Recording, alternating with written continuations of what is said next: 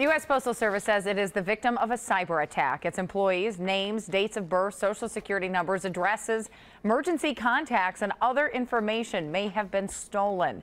The Postal Service says customers who use their post offices and website were not affected, but people who use their call center may have had their telephone numbers, email addresses, and other information compromised.